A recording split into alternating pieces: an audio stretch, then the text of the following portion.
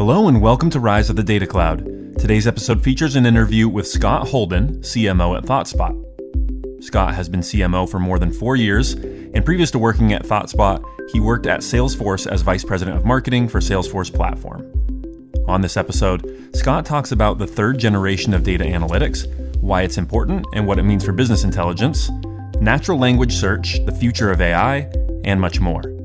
So please enjoy this interview between Scott Holden, CMO of ThoughtSpot, and your host, Steve Hamm. Well, Scott, it's good to talk to you today. I notice you're wearing your ThoughtSpot T-shirt, um, very stylish. And I thought I think you mentioned something about uh, an anniversary. Tell me about that a little bit. Yeah, hi Steve. It's it's great to meet you and thanks for having me on the show today. I am wearing my ThoughtSpot t-shirt. I'm proud to represent the brand today, especially given today is our eighth anniversary at ThoughtSpot. It's uh, always a special time of year. It happens to coincide with my wedding anniversary, which happened a week ago, so it's easy for me to remember. And uh, I've now been at ThoughtSpot for about five and a half years. So it's been an awesome journey so far, and always good to commemorate it once a year. So, just to go down memory lane a little bit, I noticed that you minored in philosophy at Colgate. And I think that's really interesting. You know, there's a lot of people dump on the humanities, but I actually, I was an English major. And I, I tell people that, that my, my college education has served me every day of my professional life. So I'm curious about philosophy. How have you used that mental framework in your professional career? You know, I I absolutely loved my philosophy classes in college. It's probably my favorite subject across the board. And the thing that drew me to it initially was logic. There's something about philosophy that just teaches you how to think and break down arguments, structure them. Uh, I think when you're young, you're trying to figure out the world and put it all together. And so, uh, I, you know, I liked the structure and the logic behind it. I came from a, a long family of lawyers, and I did not go that way. But I, I think the the thing it taught me most is that it, it taught me how to to think, write, and communicate both with clarity and concisely. And that's something you know if you think about most of the college papers I was asked to write, oftentimes they'd be you know 20 page massive book reports whereas the philosophy papers were always intended to be short you know try to convey your key points in a few pages and if i think about how that applies to marketing it's actually incredibly relevant i'm not uh, i'm not putting trial arguments together like my relatives but i'm making you know trying to make clear and concise arguments in the form of messaging and positioning and even in the world of copywriting. I mean, everyone in today's world is trying to get a clear message in as small a bite-sized package as they can get. And so, uh, believe it or not, I think you know my background in philosophy, in some way or another, helped me in what I do today. Yeah, well, that's interesting. I had never thought of marketing in that way as an argument, but you're absolutely right. You're trying to convince somebody of something and usually to buy something. I see you had quite an impressive stint for more than seven years at Salesforce. What was it that took you to ThoughtSpot? Yeah, I had an amazing run at Salesforce. It was, um, you know, I joined the company, it was about 1,500 people, and I left seven and a half years later, it was almost 20,000 people. So I saw it through just tremendous growth and got a world class education, marketing education throughout that. I was lucky enough to lead the product marketing teams for you know their core sales product for their platform business for the collaboration business you know there basically wasn't any job at salesforce that i didn't have i ran industry marketing solutions marketing i even started out uh, you know building the keynote presentations for the ceo mark benioff you know i i've known mark practically since he was a baby in a way. I, I, I was a journalist in Silicon Valley all through the 90s. And I first met him when he was running the quote PC division, which I think was about 10 people at Oracle. It was probably in about 1994, 95. And my, I remember my first impression of him. I, I went in, and most Oracle people at that time, you know, wore suits. But I went and he was wearing uh, cowboy boots and jeans, and I, th- I think a T-shirt, and which you know isn't strange these days for companies, but at that time it was it was kind of bizarre. But he had kind of a twinkle in his eye, and I think he always knew he always had a good sense of where the opportunities were, and he certainly has shown that in the intervening years. Yeah, it's well, it's not uncommon to see Mark, especially when he's relaxing in comfortable clothes, whether it's cowboy boots or his trademark Hawaiian shirts. But yeah, I you know I had an amazing time there, and it, the company did phenomenally well. And I think I got to the point where I realized that it was going to probably continue to do phenomenally well, whether I was there or not. And I, mm. you know, I like feeling a sense of contribution. I like feeling like I have a big impact in whatever I do. And as I looked at my, you know, the options in front of me at Salesforce, I I could have thrown my name in the ring to go after the CMO spot there. I could have gone and tried to be a GM of one of the business units, which at the time was actually probably more attractive to me. But I, I really just love marketing and I wanted to, you know, continue to get my hands dirty and I wanted to take on the full responsibility of the CMO role and, you know, live the Silicon Valley dream, you know, start with something small, right. build it into something big and see the, you know, the fruits of my my efforts in a kind of linear fashion. And so that's um, what it, what led me to ThoughtSpot. I met the the founder and CEO Ajit Singh who's now our executive chairman. And, uh, you know, when I was thinking about companies to join, as a marketer, it's, at least for me, it's incredibly important to buy into the vision and the story. And you know, probably most importantly, the problem that you're going after solving in, in the market. And, you know, my background, I started my career as an investment banker, so a bit analytical. And I'd used all the different analytics products out there in the world, and I thought they were all terrible. I'd had many, many painful experiences. And so, as much as I was attracted to the market, I, I just thought that the technology would never kind of live up to what I thought it should until I met Ajit. And when he, you know, when he talked to me about ThoughtSpot and the vision, you know, I was absolutely sold on this vision of making analytics as easy as your favorite app. You know, it should be as simple as typing a question into a search box and getting an answer back out of your company data that you know that resonated with me incredibly well. And then the other two key components was that you know it's actually a, it's a really hard problem. There's a reason why you know the company was started in 2012 and it hadn't been done before as obvious i think as it sometimes seems to people is that technically it's a very hard thing to do. And so when i met the founding team you know there were seven technical co-founders four of them from google uh, a lot of both ux and infrastructure chops that basically gave me the confidence that you know this group of folks could really solve what is a very hard problem. And then third it was the culture. And um, you know there at, at thoughtspot we define our culture as selfless excellence. You know we put the the customer and the company and the team ahead of the individual. Let's strive to be excellent in everything we do. And you know it's a group of uh, incredibly smart and driven people, but also a group of just incredibly humble people. I think that's what stands out most is that you know there's a, a lot less ego and attitude that you might find in some Silicon Valley companies, which is incredibly refreshing and motivating for me. You know, it's interesting. I found that to be true for Snowflake when I first started meeting the team back last December, especially the founders, very humble. Yeah, it's a, you know, it's funny. It's I think it's a trend too in you know, in corporate America and in, you know, trickling into Silicon Valley, you know, being hard and aggressive and take no prisoners type attitude, I think served companies well for a long time. But, you know, you're starting to see it more and more in Silicon Valley where humility and, you know, leaders and executives, companies treating employees and customers like real people and being a little bit more thoughtful in our human interactions it's a it's a positive trend. I'm excited to see it uh, developing. Could you start by describing ThoughtSpot's business and its technology? yeah, absolutely. So ThoughtSpot is a next generation analytics platform.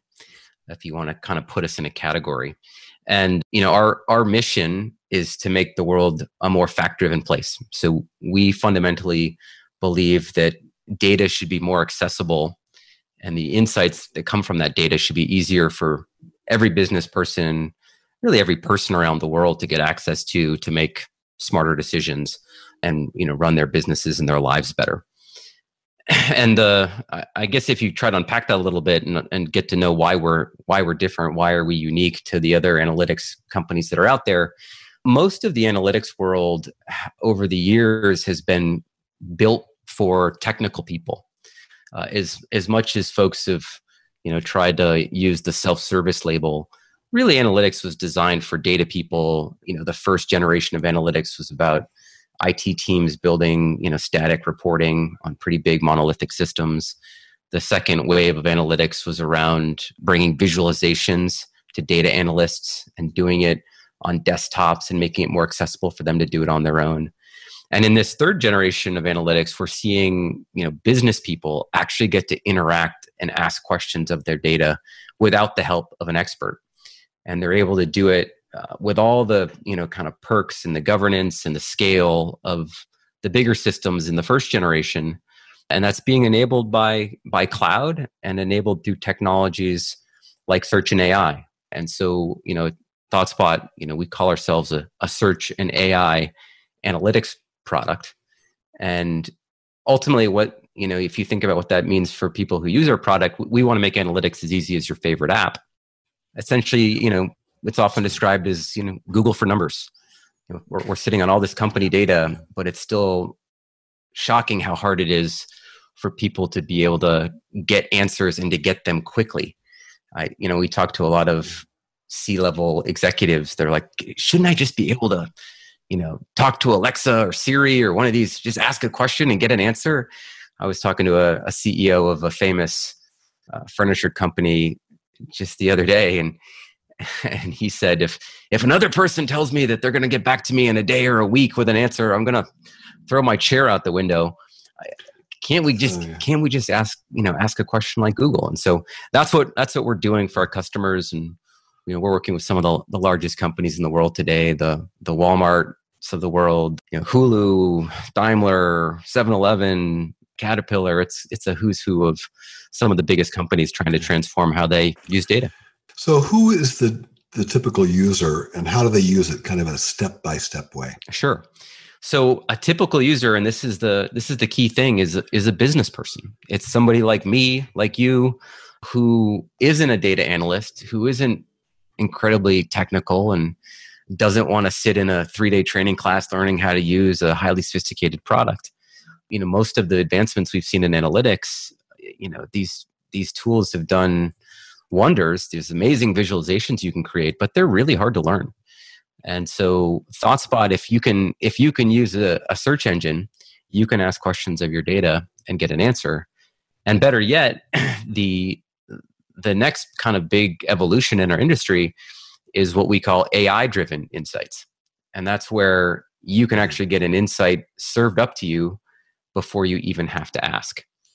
And that's where mm-hmm. you know basically the system is constantly monitoring large streams of data understands you understands your preferences understands the types of questions that you tend to ask and provides you with insights about what you would care about before you even have to and that you know for business people if you think about a lot of us you know you can kind of get stage fright being you know looking at a blank search box. Well what what do i want to know?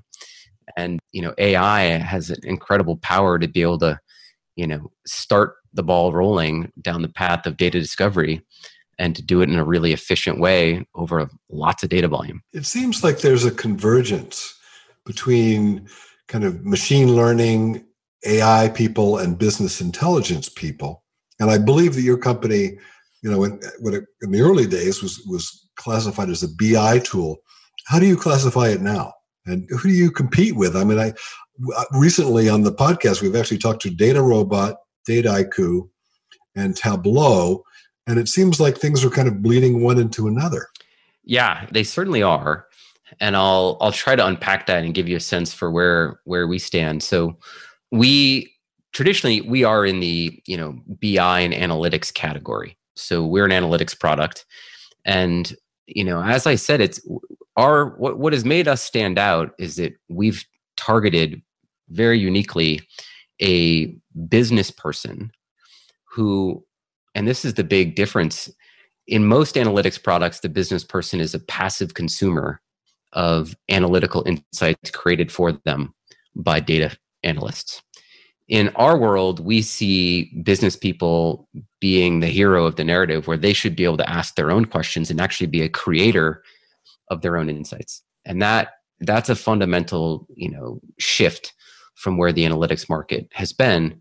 And so, you know, we're still an analytics company. We're just trying to be a, you know, one that's a hundred times easier to use than something like a Tableau uh, probably Tableau or Power BI. Those are the two biggest companies in the classic BI space. Those would traditionally be the companies that we would compete with. But we're going at things just very differently from them. And so oftentimes you'll have, you know, companies that we work with, they already have Tableau, they already have Power BI. And if they're still struggling to get, you know, answers on the fly to business people because it's, you know, they're waiting on analysts. Not everyone has an analyst at their beck and call particularly on the front lines. And um, you know, typically the C-suite likely has an analyst that kind of at their that does their bidding. But if you think about all of the salespeople, the marketers, the customer service people, the folks managing the logistics out in the warehouse, they don't. And for them, they likely won't get one all that soon either. And so if you can make analytics easy enough where they can get their answers themselves or have AI serve them up answers without them having to ask, you fundamentally change the volume of insights that are floating around an organization and can make you know a business more fact driven, smarter, and all the goodness that comes from using all this data that we're sitting on top of come to life. How would a manager of a physical warehouse use your tool?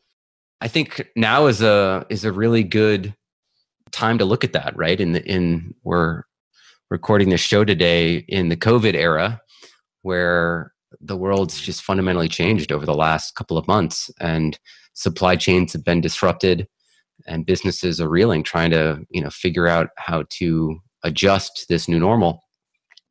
You know, I'll give you an example of one of our customers. I won't um, I won't share the name, but it's one of the world's largest sport shoe manufacturers, and you know they I'll give you an example where it ties back to their supply chain. So during this whole COVID uh, scenario, they were looking to launch uh, a new shoe, and one of their marketing managers, you know, not a data analyst, was served up an AI-driven insight from ThoughtSpot that showed her that the shoe they're planning to launch has a shoelace was being manufactured from one of the heavily impacted regions in China, where uh, the shipping times and the production was significantly delayed. And that's something that, if you know, I'm sure somebody probably knew that on the on the supply chain floor out there in China, but making its way back to the marketing manager who's planning our, all of the you know all of the marketing collateral and the websites and the flyers and the advertising spend you know that person probably wouldn't get alerted to that as quickly. And so to have a system that's running across all this data be able to pick out an insight and say hey you might have a problem here they actually delayed the launch and, w- and knew that they had basically a single point of failure the classic bottleneck in the supply chain that they needed to wait for if they wanted to have a successful launch and not you know create a you know a nightmare scenario where they've launched a product that their customers want that they can't fulfill. So hopefully that gives you a sense that you know this is a world where that probably wouldn't have happened um, without the advancements to some of these technologies. That's a wonderful example. Did she put in some kind of natural language query and got this back as a result or, or was she just alerted to yeah. this by the tool so the, we have a, a technology built into the ThoughtSpot platform that's pervasive, and it's our it's our AI engine. We call it Spot IQ for all the ThoughtSpot users out there who are familiar with it, and it's pervasive. So it's it's in a number of different places throughout the application, and I'll I'll give a couple of examples to help bring it to life. So when you log in, our homepage looks a lot like YouTube or Spotify. There are insights that you've looked at most recently in the form of charts or tables. There's things that other people are looking at. There, you have the ability in our system to follow metrics. And you also have right there, it's in essence like on YouTube, it'd be recommended insights. You know, we call them, you know, Spot IQ AI driven insights that are served up to you on your homepage. Mm-hmm. And so you can find them there and it's, you know, thing it's based on the types of data sets that you tend to look at. It's based on data sets like other people like you that have a profile like you in the system look at. It's based on queries like natural language queries that you might have asked in the past. And so we're constantly serving those up for you like right on the homepage when you log in if you then go ask a question of ThoughtSpot and use our, you know, our, our search engine that we're so known for, right at the bottom of the search result, you'll also have related searches, if you will, which are again AI driven insights that could have, I don't know the precise place where this woman saw it, but it could have been there related to another query that she'd asked. We have the ability after you type a search, it'll create an answer. You can just pin it to a dashboard, sort of like you might pin a photo to you know a pinterest pinboard we've borrowed from the consumer world there mm-hmm. and on our pinboards you have you know also insights to pop up and then finally there's there's a, probably my favorite thing actually is there's a part of the application where if you're looking at a chart or you're looking at an insight anywhere you can actually invoke spot iq and ask it to auto analyze a data point or a chart or you can actually ask it to analyze an entire data set if you want. But i particularly like to aim it at you know something that is specific. So it might be a trend line it could be a particular metric and ask it to auto analyze that and what happens in the background is that this is where the power of, of cloud and massive compute basically goes out and crunches all of the data behind whatever data point i'm looking at and will essentially run drills in every dimension that the data exists and then apply you know a number of different algorithms on top of that to highlight insights based on my preferences that are likely to be relevant to me. And so in a matter of seconds it basically builds for you an entire dashboard of it could be you know 40 insights depending on how you set it up. And you know we often describe it as it's like having the power of a thousand analysts in your pocket. You know it's uh you know to, to borrow from the the famous itunes iPod metaphor, but it it literally does you know the work of a thousand analysts in seconds. And that to me, if you're trying to understand the why behind why you know why are we behind why are we ahead you know what caused that dip or what caused you know our business to go in a new direction it's incredibly powerful because essentially it's a it's a why engine at the click of a button mm-hmm. when something's initiated by the user it's basically a question answering machine that, that, that does search our product is, you know, it's a search box just like Google. But if you ask it questions, you type in English, you know, you know, what were sales last week by product in North America, it translates your question in English into SQL on the back end. And what makes, I think, what pe- get people get confused by on initial glance is they think that when we search that we're actually serving up answers that someone's built before. And while we can do that, the thing that makes ThoughtSpot such a, a unique and, and powerful technology is it's a it's an entirely new breed of search engine that actually goes into the raw tables based on what you asked and calculates an answer on the fly, picks picks a best fit visualization, and presents that to you all in less than a second. And that's where, you know, the reason why I think ThoughtSpot has come into existence here in the last eight years is that it it really required both a UX advancement plus a computing power advancement for to bring these two things together. And we just didn't have the compute power to be able to do this type of analysis before. So it's computing power and it's a tremendous amount of variety of data that you're able to bring together. Are you mainly operating on the cloud or, or do you have on premises versions or kind of what's the how are you seeing the cloud develop and the data cloud develop? Yeah. So, you know, we started off, you know, offering choice. And we, you know, we've always believed that, especially with our client base, the large enterprise, some of our customers have, you know, their their data warehouses on premise. Some of them, you know, run them on their own private clouds. Some of them are taking advantage of the the move to you know SaaS and and pure play cloud offerings. And so we've we've sort of evolved with the needs of our customer base. And you know we started in the the on-prem and private cloud worlds, and are now as a company moving towards SaaS. And in if I think about our partnership with Snowflake, one there's a kind of a key learning and the reason why our whole partnership developed in the first place and it's really driving a fundamental shift in, in the marketplace which is when we set out to build thoughtspot we actually you know wanted to deliver this you know google like search experience on company data. And the problem with it is that we just couldn't find uh, basically databases that were fast enough to do it. And so after lots of searching actually the founding team decided to build their own in-memory database to speed up queries on top of slower databases that our customers had. And so that was sort of our initial go to market motion. And then with the advent of Snowflake, we've actually realized that the speed was there to be able to send our queries that we you know translate from English into SQL directly into the source data warehouse.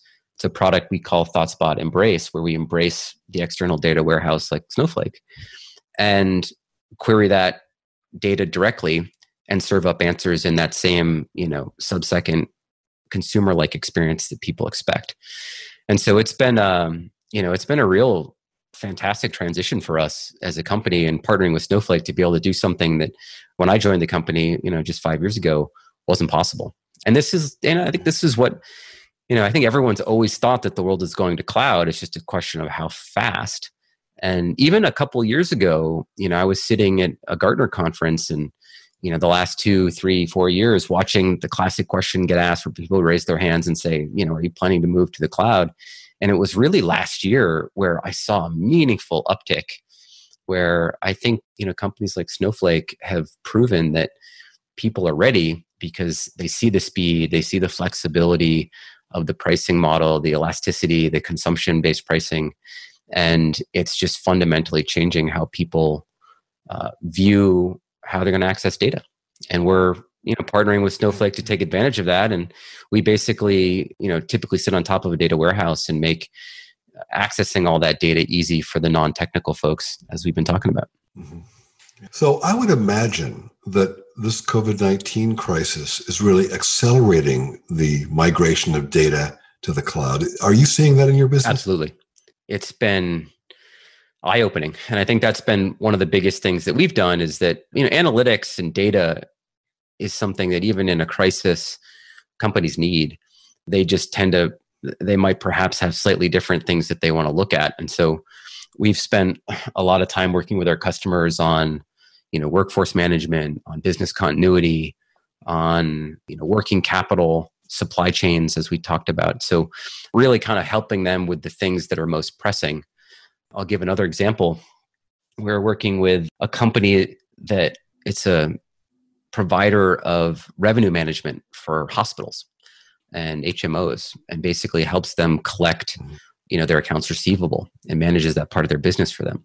And so as you can imagine during COVID a lot of these hospitals you know some of them have been under incredible duress but a lot of the doctors aren't working because hospitals have elected not to do elective procedures. And so it's a shame because a lot of our best healthcare workers are actually sitting idle in places where the COVID hasn't hit as hard. And so that's really caused these these hospitals to look at both, you know, where are where's our cash collection coming from, and uh, and also then try to plan ahead to say when we do open, what procedures are we going to uh, attempt to do first, knowing kind of how what's going to impact the business and drive it you know forward if they have a choice. And so that you know we worked with this this company recently and they um, we literally met them in february and have just started working with them and they're a customer of snowflake as well. And so it's been a great combined effort where basically inside of a month we've been able to get an entirely new solution set up for them to be able to ask questions like which customers payments are due this month that are over 30 days old and for their business leaders to be able to you know dive into that data data and you know the beauty of ThoughtSpot and you know powered by Snowflake in this example is that you know you can right click and drill into any piece of data anywhere. And so to be able to kind of dissect by by customer by procedure and be able to know how to pivot in these times has been you know a game changer for them. Have you changed your marketing strategy or execution during this crisis We sure have. And, you know, it's been, I can honestly say that our marketing team has never worked harder than during this time frame. It's been, you know, about 40% of our marketing activities tend to be event driven. And so obviously with everybody inside their homes, that's not happening. And so it's it's caused us to, you know, pivot like every other marketing company or marketing team out there and move to virtual virtual events. We've dialed up our digital advertising and, and virtual events and come up with all kinds of new formats for events. And it's so far, you know, the combination of new use cases and, you know, new virtual event formats, so far so good. People are still very interested in analytics. And so we found a way to reach them, even though some of our paths have been cut off. What's the newest virtual event strategy or technique that's being tried? I just presented on this the other day to the company. We've got a sort of a, an a la carte menu of four or five different formats that we're offering now, depending on you know the customer and you know their evolution and their journey with us and what we're trying to achieve. Things that range from private events that we'll host for some of our customers to you know what I call a mass virtual event where you're you know you're trying to you know get thousands of people engaged in that in that arena you're starting to see some pretty interesting things in the form of augmented reality. And people mm-hmm. are throwing events where you know you can kind of interact with it like you might a video game. It's on the the cusp of being cute clever but i've seen some early results. And so that's something that i've actually taken a look at and we're starting to explore. But really it comes down to who's you know who's the audience? What's the format? Are you trying to you know blast and reach a, a wide range or are you trying to create an intimate dynamic. I love seeing these, you know, lunches with families, you know, groups getting together over wine or dinner. There's actually a, especially for busy executives, getting them together is often tricky. And so, with people generally at home, we've seen it actually be easier to coordinate and get people together. And uh, yeah, it's one of the side benefits of, of this whole scenario. I hadn't thought of that. Hey, so how are you using data analytics to come up with new marketing schemes and also figure out which ones are working and which ones aren't? Well, I like to consider myself patient zero, if you will, with with ThoughtSpot, and so I was one of the very first yeah. teams to get up and running on the technology, and so I'm in it every day and I've just never had access to data like I have with this product. It's been unbelievable. And the thing I think that probably gets me most excited about it is that I have people in my marketing team and and you know now and across our whole company uses the product. The types of people that are asking sophisticated data questions and using data to make decisions, it's honestly something that you would have never seen just as short as 5 years ago you know when you have a field marketer come to you and say you know i know that this campaign that we launched looks like it's doing really well because it's getting a lot of leads but this other one over here has been getting fewer but the cost is more effective. And we're seeing that these leads are translating into down funnel at a much higher conversion rate. So on an adjusted basis this campaign is actually a better performer than the one that's got everybody's attention with the big numbers. And when that starts coming from people that don't have any analytics background, just because they're playing with data and looking at data more regularly, you know, it's sort of like being a, a proud parent. It's amazing. And I don't have a data analyst on my marketing team. We're a 30 plus person marketing organization now. At this scale, normally I would. And it's a testament to how easy the technology's gotten that you don't need to have a data person do all the work if the user experience is easy enough that everyone on the team can do it. So you don't have to spend a lot of time training people on the on the tool, but in a sense, do you have to train them to think differently about analytics and about what's possible with data? It's interesting. We just sponsored some really good research uh, that came out a couple weeks ago. We partnered with the Harvard Business Review and launched a you know big big brand campaign for us. It's called Meet the New Decision Makers, and the whole concept is that people on the front lines, if they can get access to data, they're going to move your business forward faster. They're the ones who are interacting with customers. They're in, they're on the front lines of the supply chain. They're you know they're the marketers and today they just don't have easy access and so we this research we found that you know the stat was 86% of companies 90% of companies want to do this, which is not surprising, or they want to be data driven. 86% of them don't think they have the technology they need to get it done. Uh, and only 7% thought that they were on the right path. And so we got this, this great research that showed across every dimension you'd imagine productivity, engagement, customer satisfaction, you know, being data driven improves all of those things. Being data driven is partly a cultural yeah thing, and so that's right? where i was going with it is that is that you know obviously the, the data behind it is is affirming but probably the most interesting part of it was and the reason why we're excited about it is that oftentimes people think technology is the silver bullet and it's it's not it has to be technology paired with strategy culture talent and training and in the report you know if you if you go to you know thoughtspot you'll see thoughtspot.com you'll see the research front and center on our homepage or at thoughtspot.com slash decision makers. And uh, it unpacks sort of five key tips for how business leaders can think about driving change through data. And number one is strategy. Like you have to believe it. And this is the thing that probably stood out to me as the most surprising in the whole the whole piece of research was that it broke the respondents down between leaders and laggards and one of the things that really stood out was that the leaders were 10 times more likely to actually want to put data in the hands of frontline employees. Shockingly, 40% of the laggards didn't want to do it at all, like, didn't see the value of putting data in the hands of frontline people. And so, that from a strategy perspective, first of all, it comes with like, okay, yes, we believe in doing this. Second is, as a leader, the leadership team needs to be bought in and actually want to drive change. And then it really comes down to not just thinking about the tech, although the tech's a big part of it, but also the cultural changes, which is where I think your question's driving.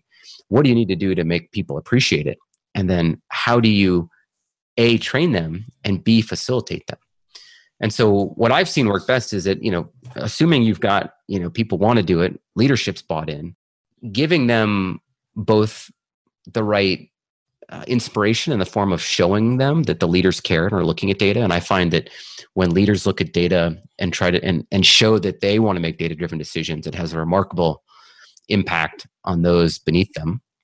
And then setting up the right training and also facilitation. So, how are you making sure that managers are training each other and that managers are facilitating for the people on their teams.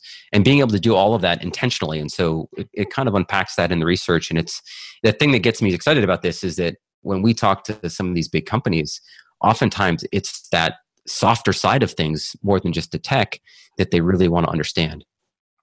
Well thoughtspot has been a partner a business partner of snowflake for several years but i understand you're not yet a customer but I know you're considering it. So what? what oh, what I can't wait have? to become a customer, and so we absolutely will be. It's in the works for us right now, and I'd say that we've been able to make it work so far without you all, but it's been kind of painful and a lot of work on some of the you know some of the data engineers on our team and so i checked in on the progress today knowing i was speaking with you and i got a very positive response that things are are lining up well so there's you know especially for marketing organizations today if i think you know in my business you know we're looking at you know we want to track campaign performance across the website. We want to look at campaign data that often comes from a marketing automation system.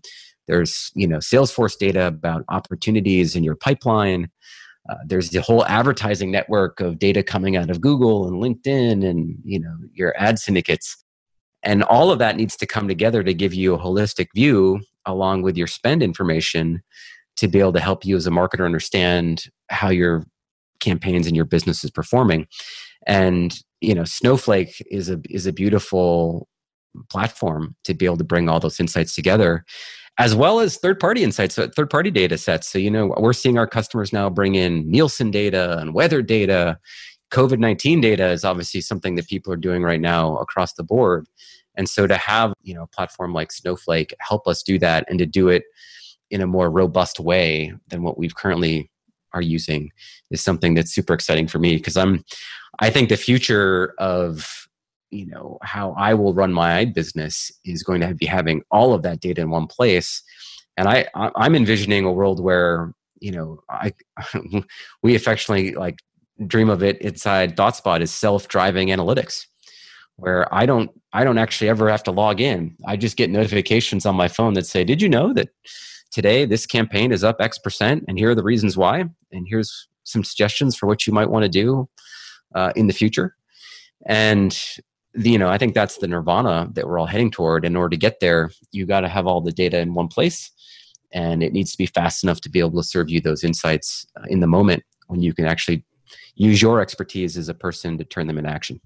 So you mentioned the future, and I think that's a really cool vision of the self-driving analytics. If you could kind of cast, say, five years even further into the future, where do you see data analytics for marketing going? What new things will marketers be able to do then that they can't do today? Well, I think, I mean, that is my vision, this self driving analytics concept. And, you know, I today, you know, our founder often likes to say that we're just 2% done and we'll always be 2% done. And it's one of the fun things about working in this industry is that, you know, data and analytics has so much potential, but we've really just scratched the surface. And everything, you know, despite all the progress we've made over the last, you know, 30, 40 years that analytics has existed, we're really just getting started. And so that vision of being able to have, you know, an alert on your phone tell me that the campaign I just launched yesterday is performing better in this region than planned uh, because of these factors, whether it's by channel or by the type of company that's responding or the seniority of the title that's responding. These are things that typically marketers marketers today can spend months analyzing post facto. I envision a world where the day after you launch, you're getting updates on those things. And you're not and you're not asking anyone to do it. The system's proactively serving that up to you and it's pulling those insights from all kinds of different data systems. So, it, you know, I think the last frontier for marketers is that it's historically been really hard to get data out of the advertising platforms and to be able to pair it with all of the internal systems you have for launching campaigns and tracking sales opportunities. And so that I think is going to be, you know, popped open and and likely brought into a centralized data warehouse like Snowflake and you know if you can have a ux experience like thoughtspot where you can as a business person can either ask a question over siri or alexa or just get served up as a push alert on your phone i think it, it just changes the game radically for business people. Yeah. well that's a really exciting vision of the future scott. I want to thank you so much for your time today. Your stories and your insights and your examples uh, of what you do with data and how you use it and how your customers use it have really been fascinating and I think edifying. So thanks for your I time. appreciate it. It's always a lot of fun. That does it for this episode of Rise of the Data Cloud. Thank you for listening. This episode is brought to you by Snowflake. To see how you can get secure and easy access to any data with near infinite scalability, visit snowflake.com.